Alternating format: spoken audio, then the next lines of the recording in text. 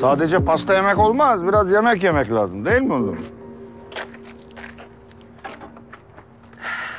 Cevdet Bey bu son durumlar ne? Azem demir kıranı almışlar. Evet evet. Zannediyorum böyle bir hesaplaşma falan oluyor. Herhalde, herhalde. Yani bu Ozan'la Ömer'in durumu beni çok endişelendiriyor. Yani ikisinin de bu baskıya dayanması çok acı verici. Yani. Ne yapsak, nasıl bir çözüm bulsak? Ya Ömer çok çabalıyor her şeyi yoluna koymak için ama her şey daha kötüye gidiyor böyle. Şimdi bu Cuma meselesi malum. Ondan sonra bir de şimdi bu taksici çıktı. Taksici, ne, nedir o taksici? O mevzu biraz karışık. Onu, boş verin şimdi. İyi akşamlar. Ay, iyi akşamlar. Hoş geldin Yasemin. Hoş bulduk. Ömer gelmedi değil mi daha? Yok gelmedi de eli kulağında çat kapı gelir. Hah tamam ben de koştura koştura anca yetiştim. Hadi, hadi geçin geçin ben Geçelim, yakıyorum. Tamam.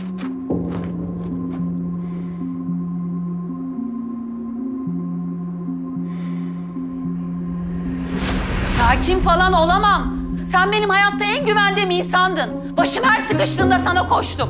Aylin öldüğünden beri bir gün bile yanından ayrılmadım. Kör müsün sen? Senin Azem'le ne işin olur Ömer? Azam zaten Ozan'ın değil. Oğluna benim çarptığımı biliyor. Ozan'ı bilmiyor. Öğrenmemeli de. Eğer ben Azem'in oğlunu kurtarabilirsem Metehan'ı. O zaman bana bir şey yapmaz. Sonra da gider ben teslim olurum zaten. Kurtaramazsın onun oğlunu. O suçlu. Buradan dönüş yok. Ömer çok üzgünüm. Çok üzgünüm ama Metehan'ı dışarı çıkarmana izin vermem. Veremem. Bak Ozan'ı korumaya çalıştığını anlıyorum. Korkularını da anlıyorum. Anladın mı? Ama gencecik iki tane çocuk toprağın altında yatıyor Ömer. Ayşe, eğer ben Azem'in oğlu Metehan'ı kurtaramazsam beni öldürür. Ozan'a zarar verir. Senin ve Yasemin'in peşine düşer. Rahat bırakmaz sizi. Yapamaz. Yapar Ayşe, yapar. İkimiz de onun kim olduğunu biliyoruz.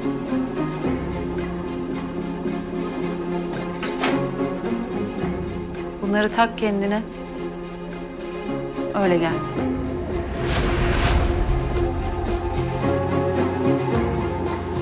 Şu son yaşananlardan sonra Ömer pek iyi hissetmiyor gibi tuhaf geliyor biraz. Ne gibi? Adını bir türlü koyamıyorum ama sanki söylemediği bir şeyler var gibi. Bir şeyler biliyor ama söylemiyor gibi. O isimsiz telefonlar falan. Yok ya. Ömer sana yalan söylemez. Neyse onun doğrusunu söyler. Ya ben de öyle umuyorum. Bak Yasemin, biliyorsun. Ömer çok kötü bir süreçten geçti. Hala da devam ediyor bu. Dışarıdan öyle gözükmüyor ama Ozan... Ozan çok hassas, çok duygulu bir çocuk. Ha, annesinin kaybından sonra biraz derin sorun yaşadı. Ömer de bunu belli etmiyor ama çok üzülüyor. Yasemin bu evde kadın yok. Buz gibi ya. Bu Selma'nın gelip gitmesiyle olacak bir şey değil. Keşke yani sen bu davalarla boğuşmasaydın da şunlara bir kanat gerseydin o onun böyle bir şeye ihtiyacı var. Keşke bu eve daha yakın olaydın. Ömer mesafeli biri biliyorsunuz. Yani ben de istiyorum onunla güzel bir hayat yaşamak. Evlilik gibi mesela. Bir teklif hayır demezdim. Ya bana bunlarla gel.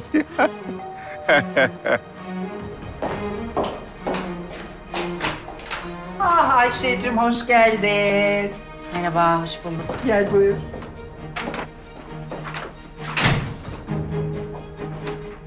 Nasılsın canım iyi misin? İyiyim. Yani iyi olmaya çalışıyorum. Yani bir sorun yok değil mi? İş güç işte. Bu gecenin konusu değil yani. Sonra konuşuruz. Konuşalım ama tamam mı? Herkes geldi. Bir tek Ömer yok. Ayşe abla. Hoş geldin.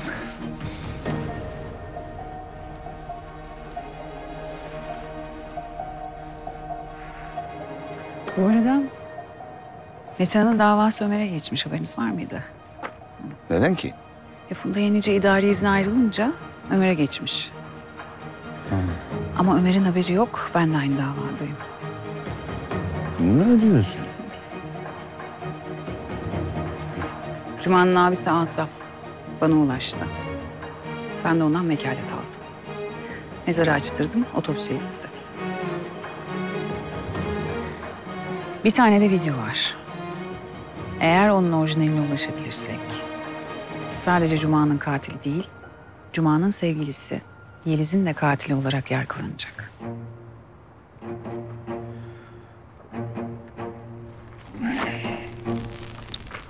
Ay iyi misiniz? Yani şu kıvılcım sıçradı ya. Buz getireyim mi? Hayır hayır gerekmez. Siz geç, geç, geç sen yerine. Tamam. Efendim Azam? Ne? Ciddi misin? Tamam. Ben şimdi sana buranın konumunu atacağım tamam mı? Hemen buraya gel. Ayşe komiser de burada. Tamam görüşürüz. Hoş geldin. Merhaba, hoş bulduk Yasemin. Asaf buraya gelecek şimdi konum atıyorum. ben, Tamam. Ozan!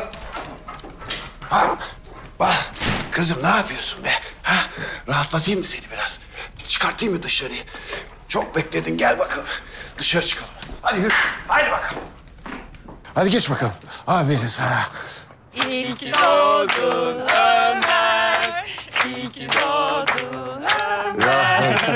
Ya ben, ben de dedim ki yani herkes unuttu bir gerçi yani ben bile unutmuştum ama Yok ya seni unutur muyuz? Ama e, organizasyon oğlunun ha onu söyleyeyim. Evet. Evet. İyi ki doğdun.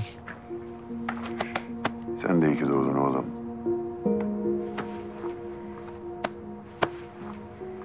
İyi yaşların olsun canım. Teşekkür ederim Semir Hanım. Teşekkür ederim. Ne yapalım? Üfleyelim mi ya? Evet. Hadi bakalım. Evet. evet. Dilek tuttun mu? Tuttum tabii. Tuttum ama o dilek bende. Kimseye söylemem. Çok seversin biliyorum. Vay. ha?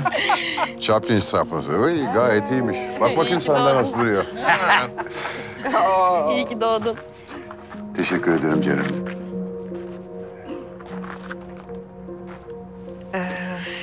İyi ki doğdun ve bir karavan hayalin vardı. Belki bu ilk adım olur diye düşündüm. Evet. Çok güzelmiş. Sevdin mi? Güzel.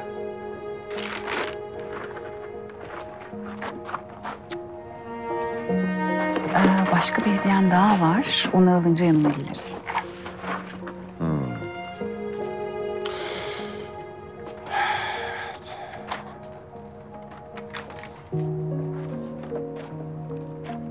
Ki doğdun.